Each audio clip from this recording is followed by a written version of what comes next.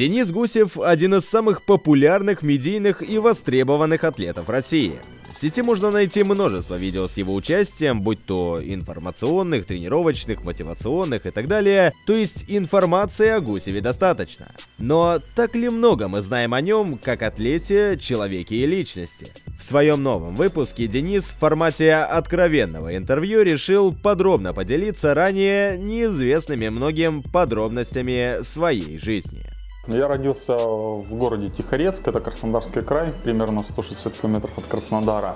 Маленький городок, небольшой, красивый, там с населением 60 тысяч. По большому счету молодежи там делать особо нечего. То есть ты либо идешь работать на завод за достаточно скромную зарплату, а, либо идешь работать на рынок, либо в какую-нибудь банду, которых там тогда в 90-е было предостаточно. А, я а, учился в школе, в школе гимназии номер 6, и учился достаточно неплохо, школу окончил без троек.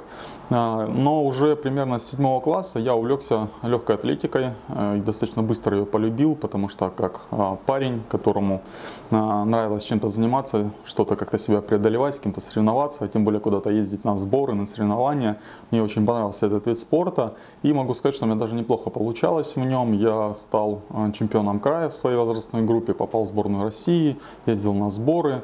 В легкой атлетике у меня была специализация, это прыжки в длину. Э, у меня под кандидата в мастера спорта что-то за 7, под 7.20 или там 7.10 я прыгал. Э, вот был чемпионом края. Бег на 100 метров тоже скоростный салон мне нравился, но я там даже что-то первый разряд не выбегал. Вот. Но мне все-таки больше нравилось именно прыжки в длину, там за 7 метров, в общем, я прыгал, да, ну там регулярно. У меня, кстати, еще, э, я не один в семье, у меня брат, э, который на 2 года младше, он в Ростове сейчас живет, и сестра, которая на 5 лет младше, она также сейчас живет в Москве, и, кстати, начала вот недавно выступать, у нее сейчас был первый сезон, э, выступала в фитнес-бикини, ну, результат не очень, но зато форму сделала достаточно достойную, хорошую, просто как специалисты заявили, и нее плечи, плечевой пояс немного не подходит для бикини, а больше для боди-фитнес, но для боди-фитнес надо набирать массу, а она этого не хочет. Поэтому сейчас она мечется, что ей делать дальше.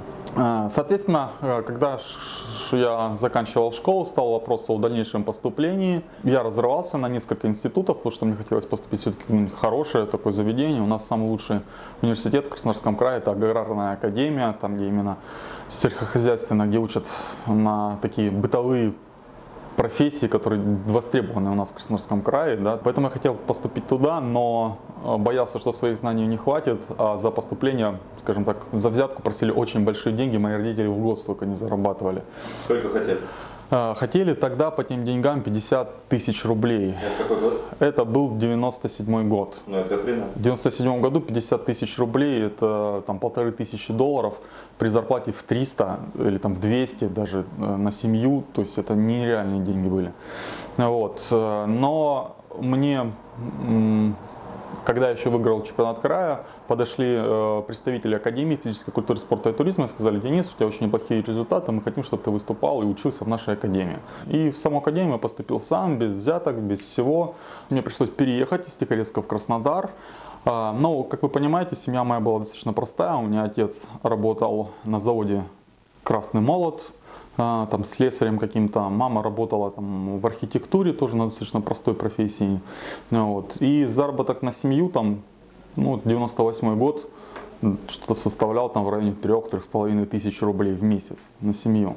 Соответственно, денег они мне могли выделять там, ну не знаю, 400-500 рублей в месяц. Да? Вот представьте, доллар тогда уже 28 стоил, тебе дают 500 рублей в месяц на еду. Для примера, в нашей студенческой столовой, да, где там очень бюджетно, дешево кормили, один прием пищи, ну там позав... ну, там пообедать, например, да, там просто из второго и компота стоил 15 рублей. Вот если бы я просто хотя бы один раз в день ел в этой столовой, а, то мне потребовалось бы 450 рублей в месяц на один прием пищи. Да, мне давали там 500. Это без учета там всяких трат, ну, не знаю, там на одежду, на зубную щетку, пасту и так далее. Помню, дело доходило до того, что а, в душе э, после тренировки один парень выкинул, э, э, как это называется, для купания, мочалка. А, один парень выкинул мочалку и Head and Shoulders, да, ну, она такая продавалась в комплекте, душ, э, шампунь и мочалка.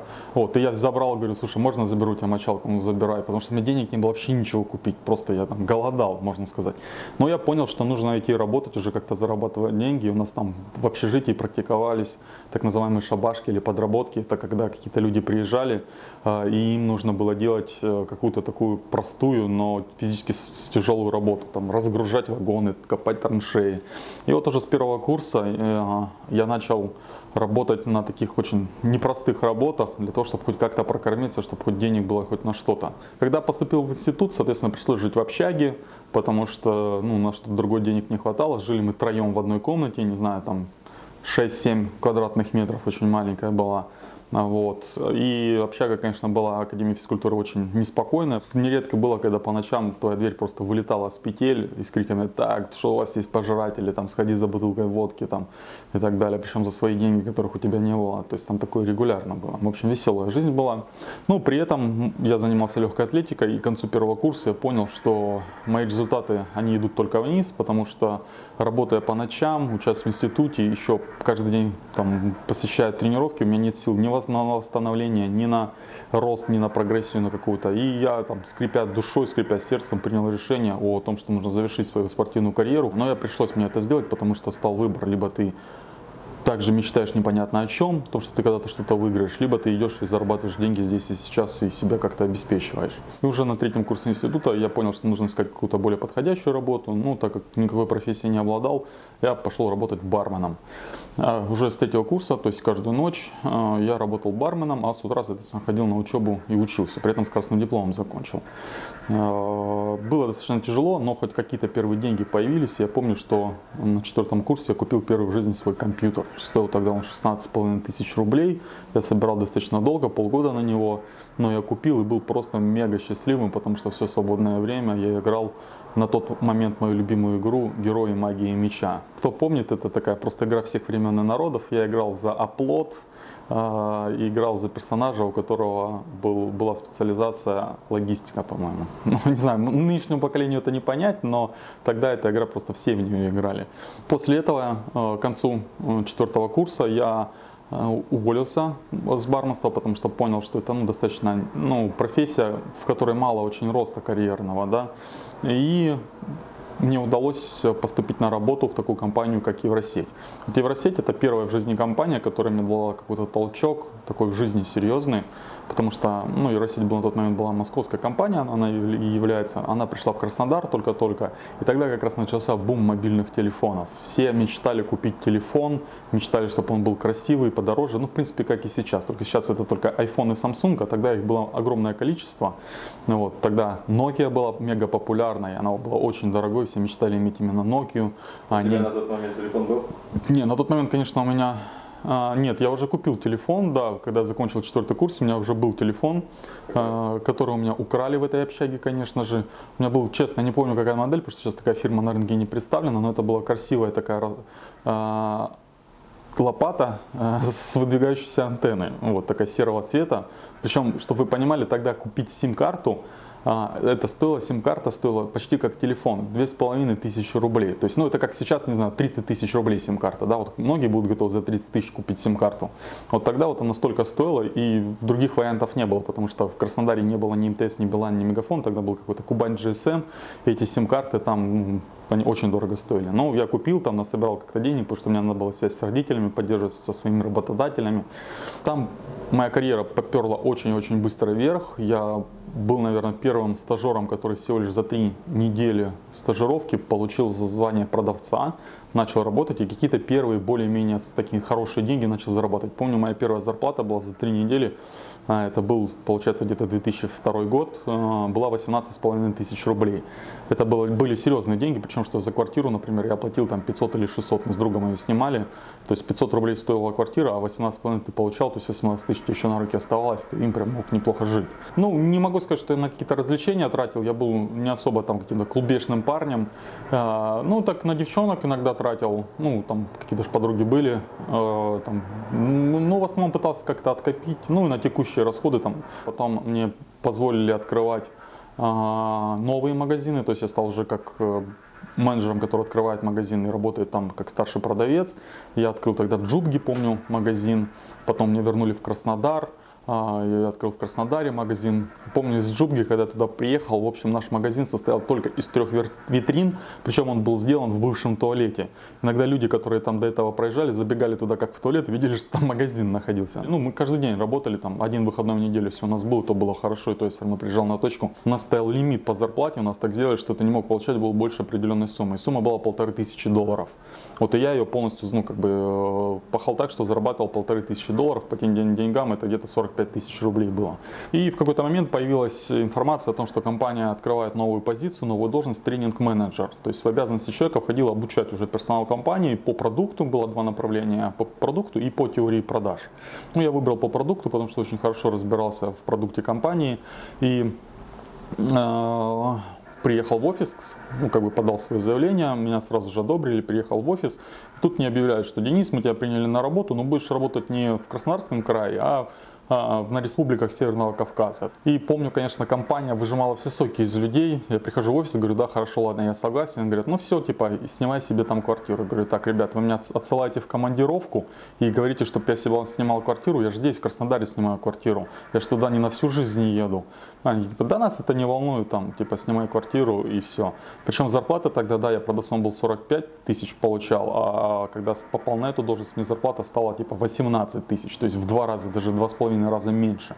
Вот, тогда мне уже было в районе 23 лет, 23-24 года, и я понимал, что жизнь, конечно, прекрасная. Краснодарский край классный, тепло, море недалеко, фрукты, зелень, девчонки красивые. Ну вот, но на 14 тысяч рублей мне тяжело прожить. Помню, что с девчонкой с одной познакомился, так в нее влюбился, наверное, первая любовь в моей жизни была. Как звали? Бля, сейчас бы вспомнить, как ее звали. Да, представь, э, просто я так долго пытался из сердца ее выкинуть, что, ну, видно, так сильно ее выкинул, что даже уже не помню, как ее зовут. Клянусь, не вспомню. Вот. Ну, я не могу вспомнить, потому что я сейчас жену свою люблю и больше никого не знаю, понимаешь?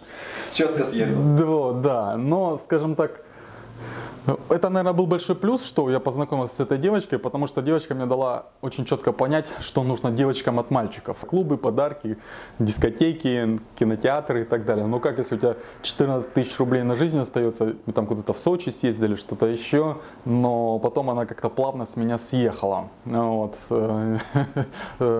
Потерялась и все, перестала отвечать на мои звонки и так далее. Я просто понял, что ну, меня кинули впервые в жизни, девушка именно.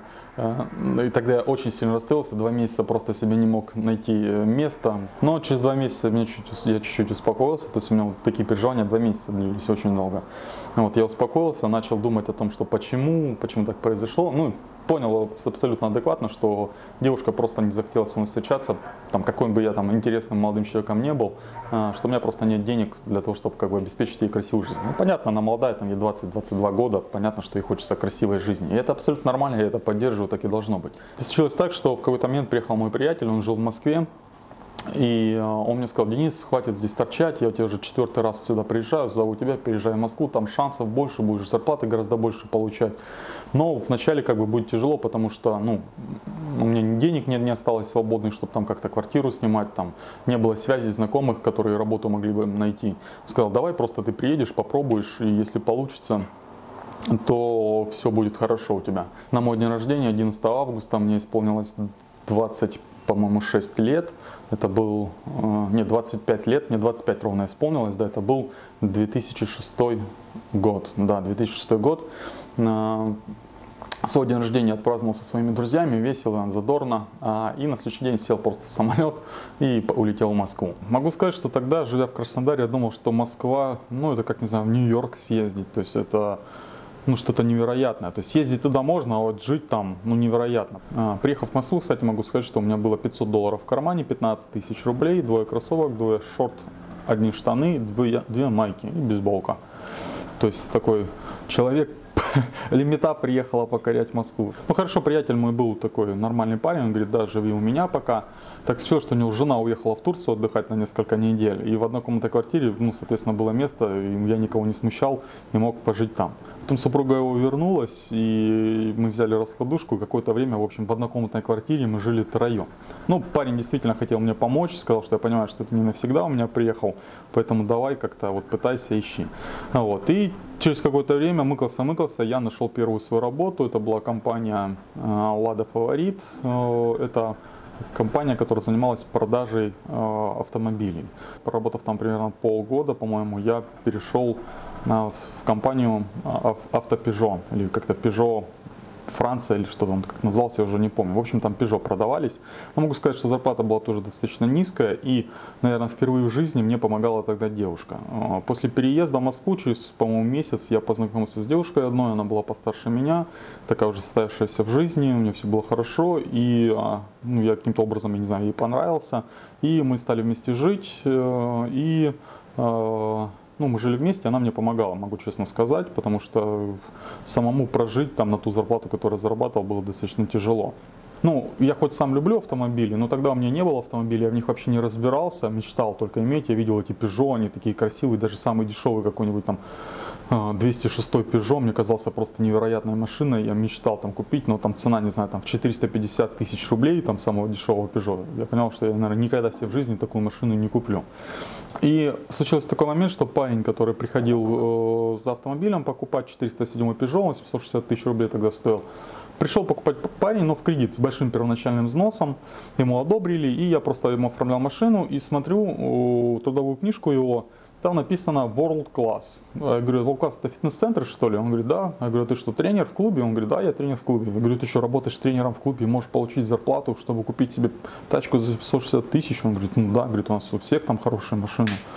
Я ему, если честно, не поверил, думаю, врет, наверное. А, ну, говорю, а что за work где они находятся? Он говорит, ну, это сеть, там, там-то, там-то. Говорит, хочешь, я тебе гостевой визит сделаю? Ну, в общем, мне сделал гостевой визит в work Смоленский пассаж, тогда я помню. Я туда пришел и думаю, ну, просто пообщаюсь с тренерами. Потому что, когда я закончил Академию физкультуры, я думал о работе тренерством, но тогда такого понятия, как фитнес-клуб, просто не существовало. Тогда были одни просто подвальные качалки. И зарплата в них была, ну, тоже достаточно смешная, ну, и обязанности у тренеров тоже были такие, что просто смотреть, чтобы никого там штангой не придавило, и все, никого не там не тренировали, ничего. Пришел в work-класс, пообщался с тренерами, и они говорят, что да, у нас там зарплаты там за 100, там и выше тысяч рублей. Я думаю, ничего себе.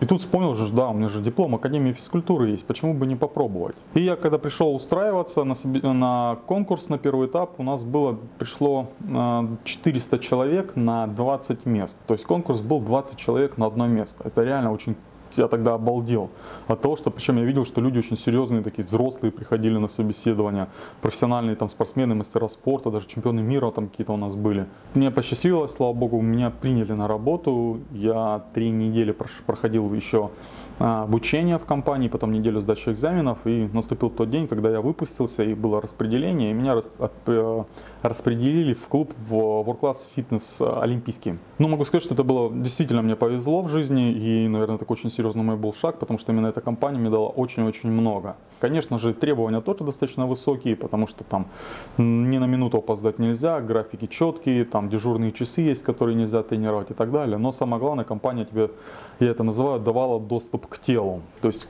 вам на парковку приезжали машины, которые мог приехать Майбах, за ним еще гелик с вооруженной охраной.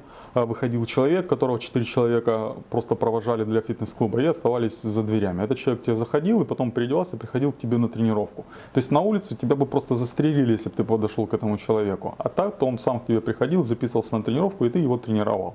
Тогда я начал постепенно обрастать связями, интересными знакомствами. Ну и могу сказать, что, наверное, самое главное, я начал просто учиться у этих людей мыслить. Потому что мой колхозный, колхозное мышление, которое тогда у меня было, оно просто не позволяло вообще оно не понимало, как в этом в Москве все устроено, как люди могут зарабатывать такие деньги, и что это вообще нормально мечтать зарабатывать такие деньги, и вообще их зарабатывать. Тогда я это все не понимал, и для меня этот мир каким-то чужим казался. Но благодаря тому, что я общался с этими людьми, они какими-то делились психологическими секретами своего успеха, я начал потихонечку как там ментально расти, расти, расти, начал интересные книжки читать, знакомиться с интересными людьми. И в тот момент я познакомился тогда с своей, наверное, второй любовью.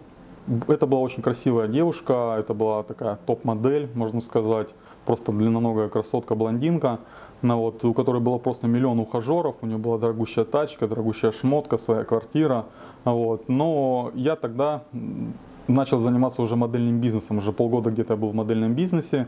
То есть я, ну не то, что там какой-то модель был, но потому что я выглядел очень неплохо, я тренировался тогда, то есть у меня была хорошая фигура, я записался в модельное агентство даже в несколько и ходил на кастинги, и могу сказать, что даже мне посчастливилось там несколько крупных кастингов выиграть, я снимался в рекламе Мегафон, я снимался для GQ.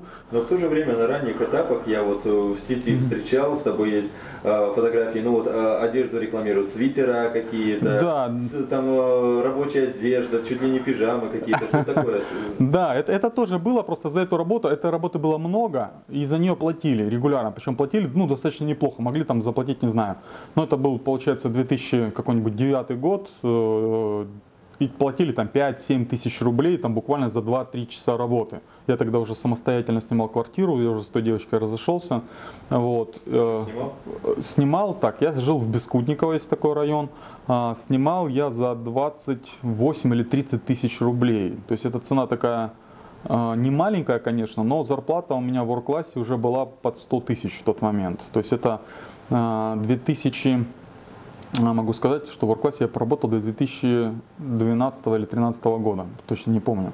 Вот, зарплата была под 100 тысяч, 30 я отдавал, 70 не оставалось. Я уже купил к тому моменту свою такую первую машину, это Honda Civic, такая синяя цвета, красивая машина, так она мне нравилась, прям супер, никогда не ломалась, у нее было хорошо, Новая девчонкам подержана. нравилось. Я купил новую в автосалоне, тоже в кредит, конечно же, не за наличную, стоила она тогда 416 тысяч рублей. Причем это была комплектация Elegance, не самая дешевая, автомате. Ну, в общем, я тогда познакомился в итоге с девочкой, с которой мне очень-очень нравилось. Я буквально сразу же в нее влюбился, ну, потому что это была девочка из Москвы, воспитанная, у нее мама а, преподаватель по музыке, а, по вокалу, она очень хорошо пела. Э, но, как случилось и с моей первой любовью, примерно через 3-4 месяца девочка привыкла жить той жизнью, которой она жила, и, скажем так, появление какого-то такого парня вроде меня, который не мог ей позволить то, скажем так, в чем она жила постоянно, да, тот образ жизни, она в какой-то момент, через полгода примерно, просто мне сказала, парень, слушай, извини, но, ну, как бы мы друг другу не подходим, там, ты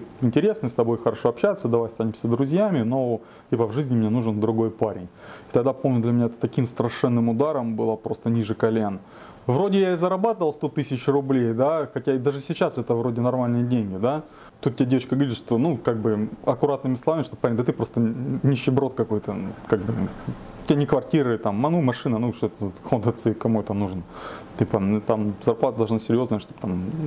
И она права, я ни в коем случае не осуждаю. Именно, именно я, наоборот, ей благодарен за то, что она, ну, дала мне такой серьезный толчок, чтобы я не останавливался, потому что именно такие трудности, они закаляют нас. Я начал опять самокопанием заниматься, пытаться понять, что нужно в себе изменить, как нужно трансформироваться, что стать лучше. И тогда, я помню, мне попалась книга, которую я сейчас называю книгой номер один в своей жизни.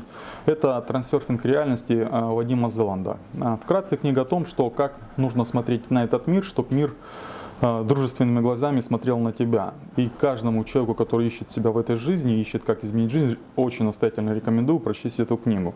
В общем, благодаря этой книге мое, скажем так, э, видение мира из резко негативного я смог его перестроить там, в положительные, грубо говоря, да, и мир реально начал мне отвечать тем же самым, начал какие-то положительные моменты вносить в мою жизнь. Но я начал понимать, что да, работа в классе тренером это круто, это мега, многие мечтают оказаться на моем месте, но в то же время это все равно э, не то, что я хочу, потому что раз такая девочка ушла от меня, э, когда я зарабатывал такую сумму денег, значит я должен зарабатывать, не знаю, 200, 300, 400 тысяч рублей в месяц для того, чтобы такие девочки были рядом со мной. Потому что да. дев, девочки для меня были мотиваторами. В общем, работая в классе я познакомился, ну, у меня был один из клиентов, это такой очень э, состоятельный парень, он прям мой ровесник, и он владелец очень крупного строительного бизнеса, компания, которая строит э, коттеджи в ближайшем Подмосковье по одному очень дорогому другому направлению. Вот. И э, он очень часто опаздывал на тренировки, потому что был безумно занятым человеком. Я ему сказал, что, ну, дружище, давай, может быть, я стану каким-то персональным тренером. Тебе, как бы, зарплату, которую я здесь в классе получаю, это для тебя вообще копейки. Тебе какая разница? Ты там больше тратишь денег на то, что покупаешь клип-карты и просто их не расходуешь, потому что ты не, не ходишь на все тренировки. А так я буду приезжать в то время, когда тебе удобно, и ты будешь всегда э, со мной тренироваться. Вот. Он, он там достаточно короткое время подумал, сказал, что да, окей, давай я тебе буду платить те же самые 150 тысяч рублей, ну ты будешь тренировать, я тебе куплю карту World Class, что тогда мне сказалось, я был тренером, и тут вдруг я стану клиентом, и я получу тот же самый сервис, который получают клиенты, и тогда мега счастлив был. Ну, вот. Э, он мне пообещал эту зарплату, э, но мне нужно было, конечно же, уйти из клуба и тренировать его одного. И тут я понял, что у меня офигенски много свободного времени появилось. Ну, представь, я его там тренировал, ну, он такой был заядлый спортсмен, точнее, является сейчас.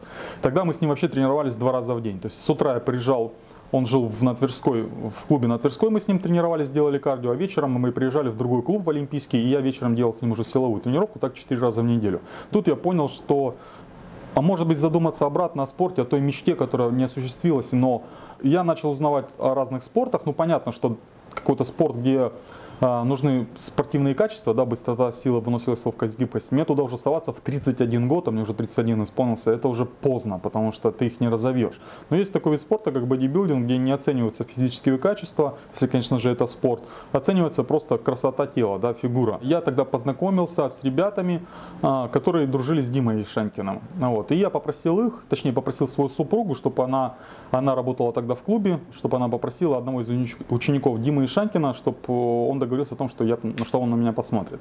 Дима назначил мне время, я приехал к нему, он посмотрел на меня сказал, что да, парень, слушай, у тебя достаточно неплохие пропорции тела, хорошая композиция, тебя можно попробовать в такой дисциплине, как классический бодибилдинг. И вот в 31 год я начал свою подготовку э, в классическом бодибилдинге.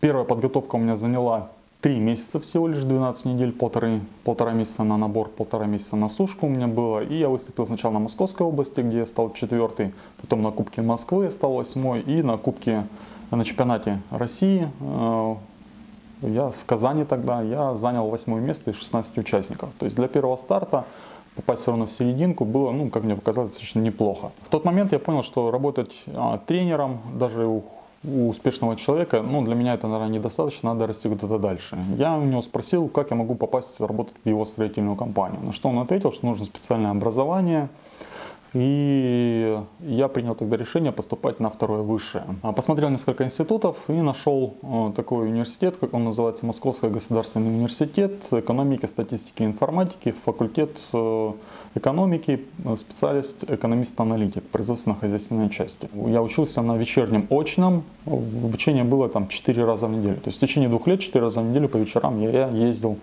в университет и получал второе высшее, и в принципе его получил, закончил тоже с красным дипломом.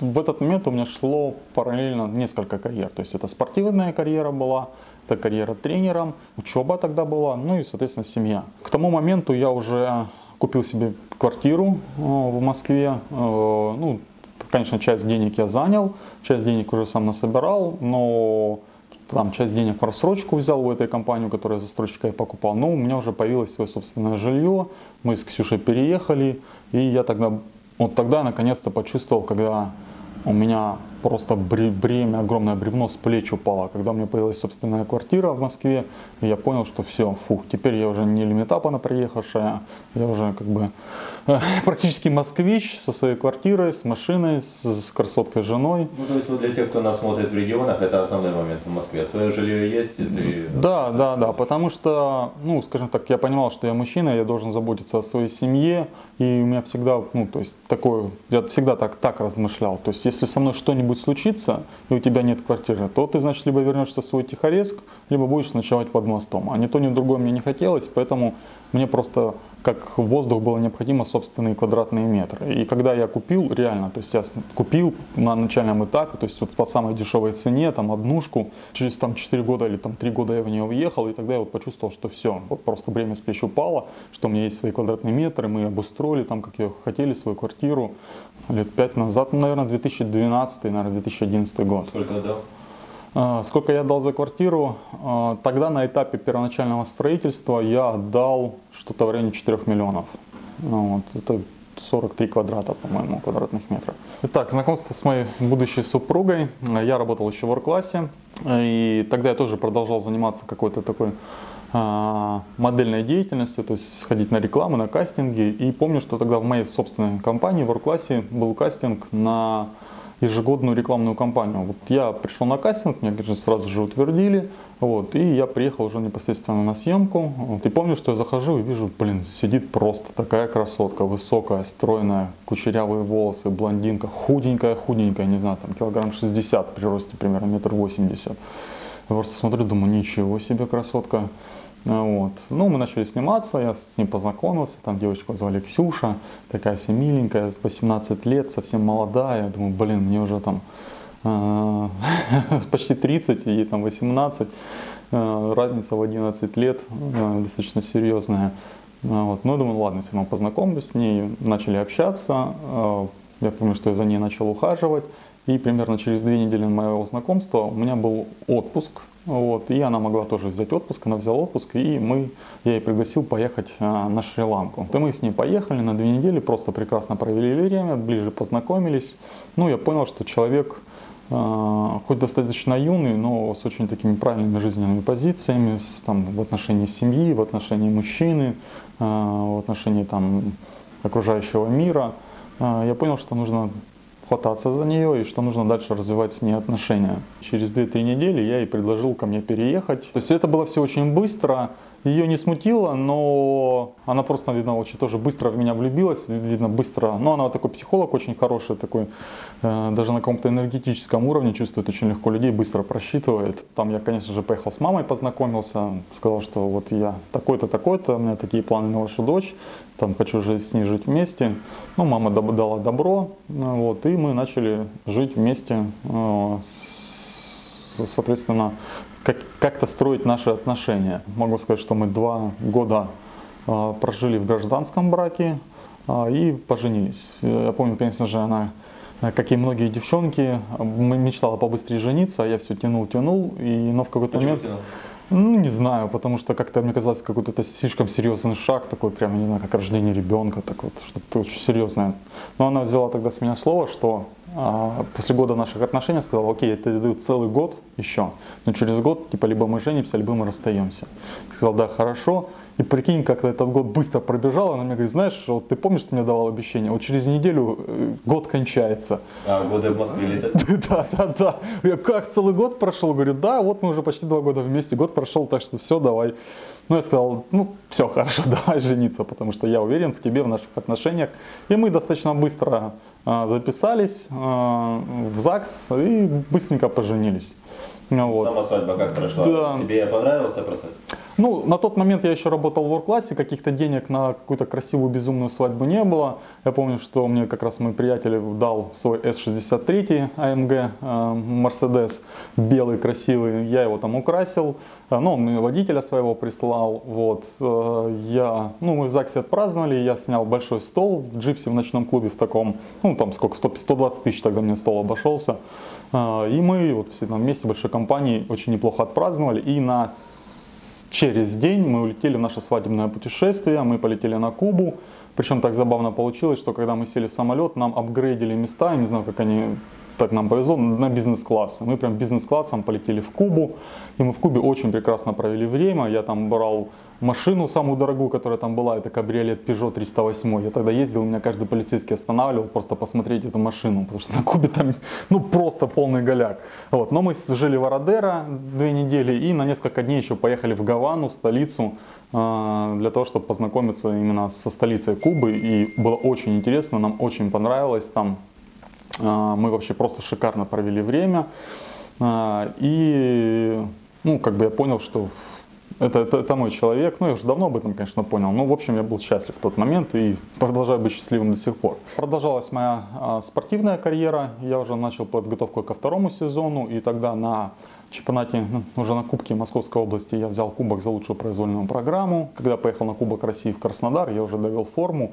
И уже на Кубке России я стал третьим, а, выполнил норматив мастера спорта России по бодибилдингу и попал, соответственно, в сборную России. Тогда, помню, еще Тимошенко ко мне подошел, говорит, ну что ты на, на мир там или на Европу поедешь?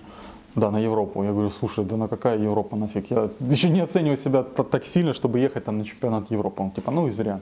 И я понял, что э, тут нужно двигаться куда-то дальше. И стал вопрос, куда? Потому что я видел форму чемпионов, и чемпионов там не только российских, а чемпионов Европы и мира. Я видел, что ребята, но, скажем так, в очень прекрасной форме, которая очень может быть опасна для здоровья. И я начал смотреть, долго ли ребята выступают. Я заметил, что 2-3 года ребята выступают, и все, на этом больше их спортивная карьера не продлевается. То есть она останавливается по каким-то причинам. И я думал, что я закончу с выступлением вообще.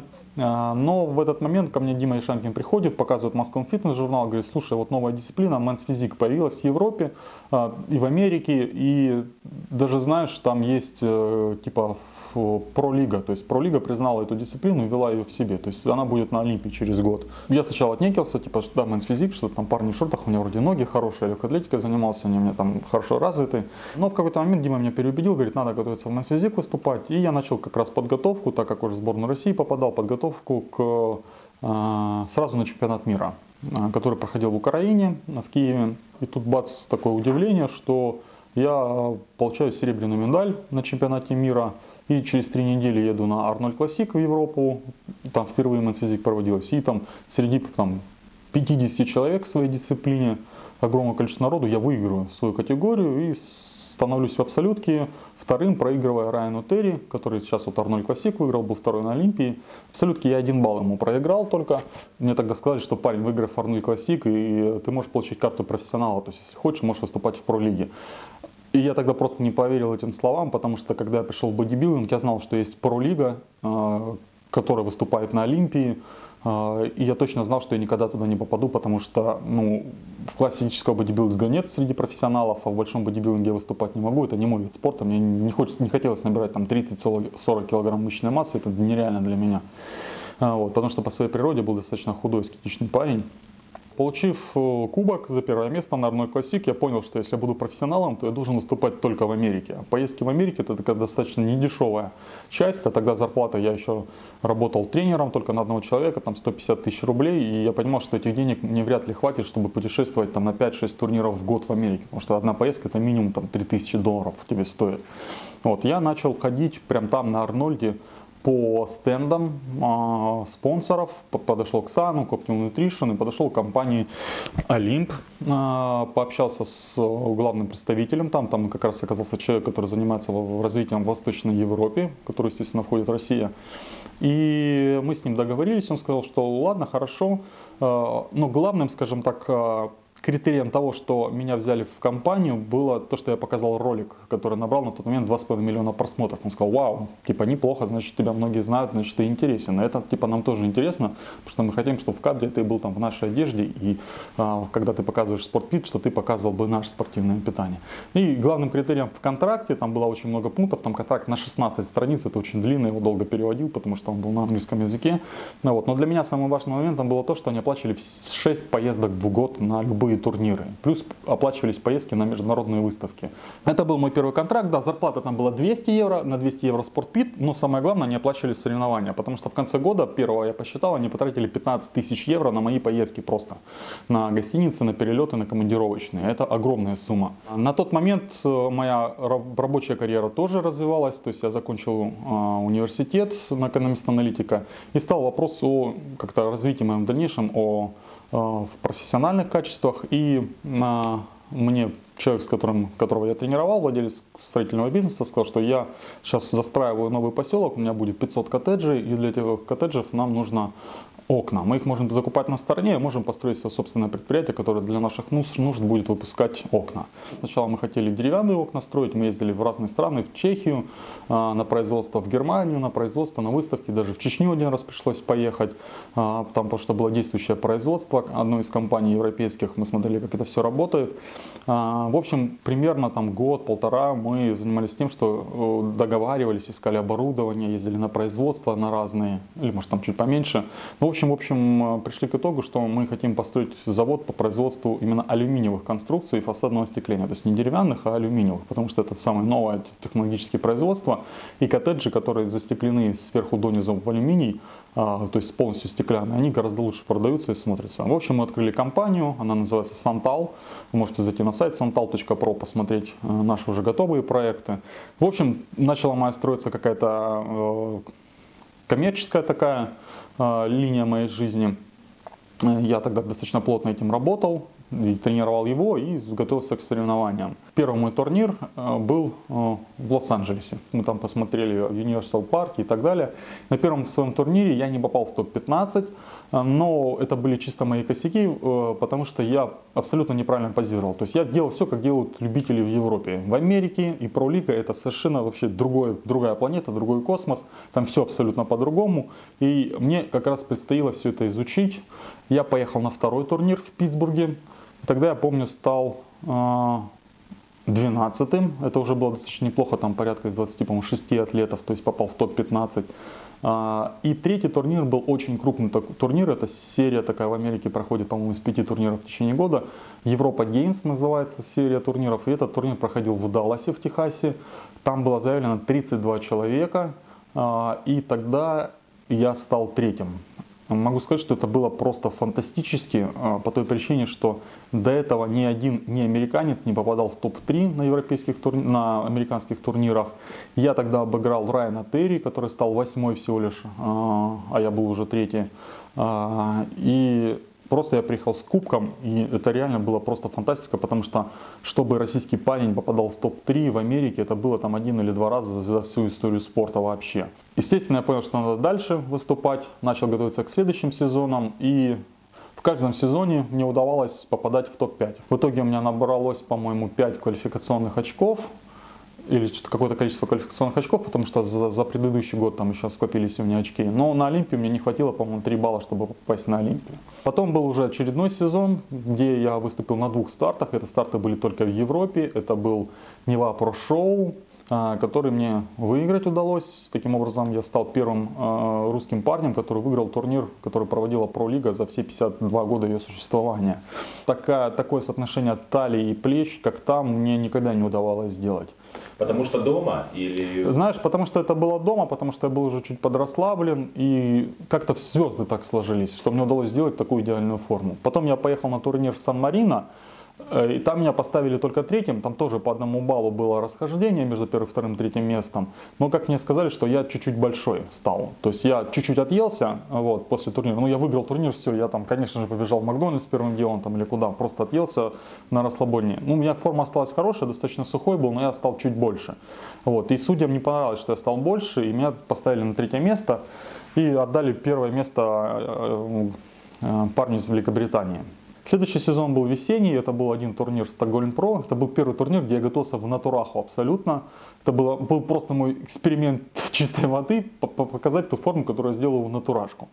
Там уже определенные косяки, конечно, по подводке были. Плюс опять я был не бритый, я бороду зачем-то отрастил. А когда я грубо говоря, очень усухаю, усыхаю и становлюсь жестким, то как-то борода очень старит мое лицо. Ну, вот, в результате это судьям, наверное, очень не понравилось. Да и нельзя сказать, что у меня форма какая-то шикарная была. В общем, тогда я занял достаточно низкое место, шестое из семи участников, то есть стал предпоследний. В общем, а, после этого турнира я немножко отдохнул буквально месяц и начал свою там четырех- или пятимесячную подготовку до главного турнира в жизни любого культуриста, э, мистер Олимпия 2016, проходящего в Лас-Вегасе. Одна из основных, скажем так, моих ошибок была то, что я готовился уже самостоятельно. То есть у меня не было тренера, все решения принимал только сам. А, но я точно понял, что знаний у меня немножко не хватило, потому что я слишком жестко начал тренироваться. Я сказал, что я выложусь по полной. Я делал до 15 тренировок в неделю, даже до 18 иногда. То есть у меня было на последние почти 3 месяца, за 2,5 месяца я начал делать по 2 кардио в день и по одной силовой 5-6 раз в неделю. Мне так хватило ненадолго, недели 3 я продержался, потом мне стало безумно плохо. А, при этом я ел 50 грамм углеводов только. Потом я перешел на двухразовые тренировки в день по 6 дней в неделю, то есть где-то по 12-13 тренировок в день я делал. Плюс я тогда уже увлекся тайским боксом, начал заниматься им, ну я как кардио делал его, и плюс мне просто нравилось это увлечение, очень красивое, но красивый вид спорта. При приезде в Америку, в Лас-Вегас, э, у меня начались определенные проблемы с пищеварением, потому что дорога занимала 26 часов, началось обезвоживание. А тут не нужно быть очень умным, чтобы понять, что когда у тебя недостаток воды, ты ешь пищу, просто у тебя плохо вырабатывается а, кислоты для пищеварения, потому что воды просто не хватает, из которой мы вырабатывается. В результате у меня начались проблемы с ЖКТ, пища не переваривалась, и я последние два или три дня перед Олимпией ни разу не сходил в туалет по-большому, скажем так. И выйдя на сцену, я понял, что у меня полный просто желудок, кишечник еды. Причем я начал пить э, регулакс, ставить клизмы, что угодно я делал, вообще не мог сходить в туалет. А, в результате, выйдя да, на сцену Олимпии, я понял, что я тяжело контролирую свой пресс. Форма супер, я очень сухой был, доведенный, но при этом полный желудок еды, он конечно, не позволил мне занять высокое место, и я не попал в топ-15, но и участников было много, 42 человека. Я был там, по-моему, в четвертом, не, в пятом коллауте, я где-то место там, ну не знаю, в районе 30-го занял, что, конечно, не последний тоже хорошо, потому что я потом посмотрел списки и, и коллауты, я обыграл многих парней, которые выигрывали хорошие большие турниры, вот, но тем не менее, все равно я не показал ту максимальную форму, на которую я в итоге был бы способен. Вот. После этого я сразу же поехал на турнир в Южную Корею, в Сеул. Там я стал тоже по той же самой причине я никак не мог проконтролировать свой пресс, он вообще вылетал, у меня не мог его напрячь. Стоя за сценой я показывал, все было хорошо. Но выйдя на сцену, пресс просто куда-то пропадал.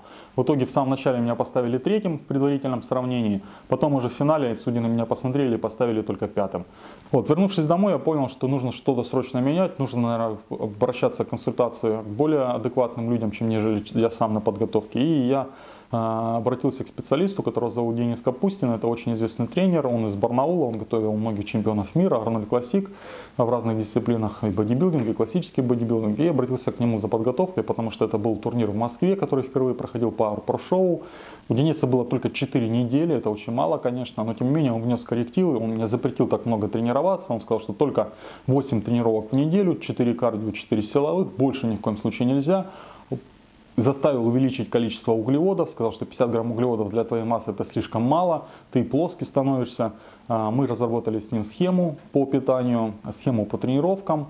И я начал готовиться, и в результате за 4 месяца подготовки мне удалось значительно улучшить свою форму, и, что самое главное, он правильно меня подвел. И в результате я занял четвертое место, причем все люди, которые были с Олимпии, они стали ниже, чем я. То есть я их всех обыграл, а, а первые три места заняли ребята, которые впервые в жизни вообще выступали на профессиональном турнире. Но в первую очередь сказалась разница в судействе, потому что а, судили европейские судьи, судили по европейским критериям. Приехали американцы, и многие европейцы, которые выступали на Олимпии или на профессиональных турнирах, они делали абсолютно все то же самое, что делали в Америке. И европейским судьям почему-то их форма и позирование не понравилось, и они поставили европейских атлетов, которые впервые выступали на первое, второе, третье место. Выиграл тогда Николай Кулешов, я его с этим абсолютно поздравляю, молодец, действительно хорошую форму показал, и заслуженно занял первое место и квалифицировался на Олимпию. Вот, я же стал четвертый, набрал какое-то количество квалификационных очков для Олимпии за счет э, выступления в Сеуле, за счет выступления в Москве, но этих очков мне не хватит для того, чтобы а, квалифицироваться квалифицироваться на Олимпию 2017 года, и я решил, что нужно пока со спортом подождать. То есть решил взять перерыв, потому что это у меня уже был восьмой сезон подряд, без остановки. Я уже сильно измотал свой организм, я стал достаточно нервный, раздражительный. Э, и я понял, что нужно отдохнуть и взять перерыв в год. На данный момент в спортивной карьере Дениса наметилась пауза. Атлеты его жена Ксения давно планировали пополнение в семье, и сейчас как раз неплохой момент, чтобы уделить внимание этому вопросу и заодно обратить внимание на свое здоровье. А также Денис активно работает над развитием собственной компании. Не по производству спортпита, как нынче модно, ведь рынок и без того насыщен предложениями от топовых брендов с мировым именем, так еще и каждая новая компания сталкивается с выбором. Делать качественно, но дороже или хуже, но дешевле, что не сочетается с принципами Гусева, а по доставке здорового питания. Денис с партнером долго работали над деталями будущего бизнеса, его маркетинговой политикой, меню бренда, его особенностями, и на данном этапе Level Kitchen уже может похвастаться значительным списком подписанных контрактов на доставку качественного здорового питания наши конкуренты некоторые, они либо делают очень дешево, но реально качество очень сильно страдает, все об этом знают, все на это жалуются. Либо они делают это качественно, но это становится безумно дорого. В Москве есть люди, которые легко это могут покупать, но количество этих людей не так велико. Наша задача стала в том, чтобы создать компанию максимально премиального сегмента, то есть качество, чтобы было во всем, начиная от упаковки, дизайна вилок, ложек, заканчивая, безусловно, своим качеством продукции.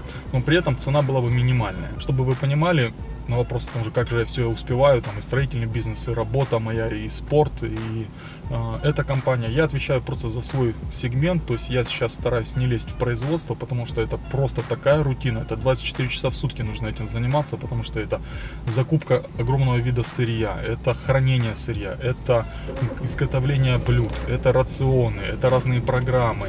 Напоминаю, что у нас есть 5 рационов, 2 на снижение веса, 1000-1500 калорий, 2 на набор веса, это 2,5 и 1500 калорий, и одна программа на баланс, это 2000 калорий.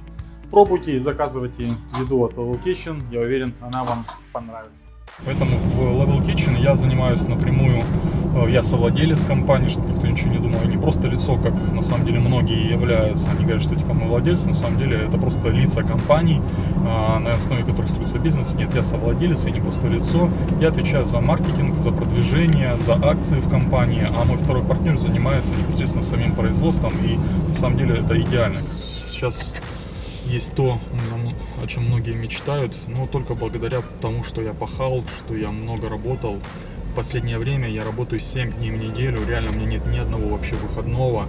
А, моя супруга, когда приходу, прихожу домой, называет меня а, муж работа, домой вернулся. А, кстати, я первое, что я очень люблю путешествовать. Я уже посетил более, по-моему, 32 или 34 стран.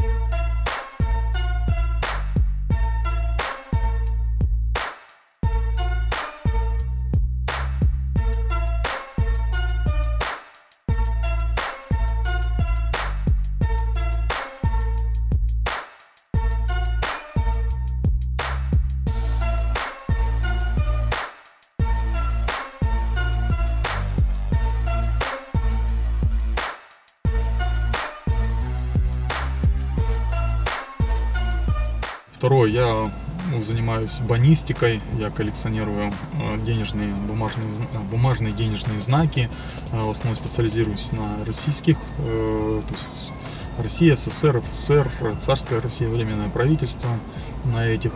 Также увлекаюсь, ну, люблю на машине ездить, ценю, уважаю дорогие, красивые, хорошие машины, какие красивых женщин ну, женщина у меня одна, слава богу, я счастлив, что она у меня есть, у нас любовь, морковь, и все прекрасно.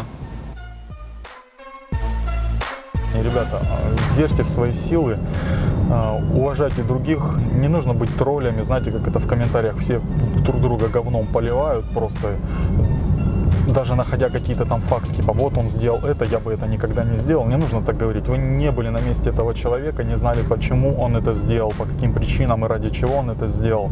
Не нужно быть хейтером, не, не нужно ни в коем случае осуждать людей, это очень важно, потому что Вселенная, она все это видит, если вы других людей осуждаете, поливаете грязью, пусть они даже этого заслуживают, неважно то Вселенная говорит, а, ну раз ты дерьмом кого-то поливаешь, значит и я тебя буду дерьмом поливать. Ваша жизнь, она будет на том же самом месте находиться, где она находится сейчас, а может быть даже и хуже становится. Поэтому уважайте просто других людей, никого не порицайте, просто занимайтесь тем, что, что вам нравится, а, постройте какой-то план вашего движения, вашего развития, если вам, конечно, оно нужно. Если вас все устраивает, то значит делать-то ничего не надо.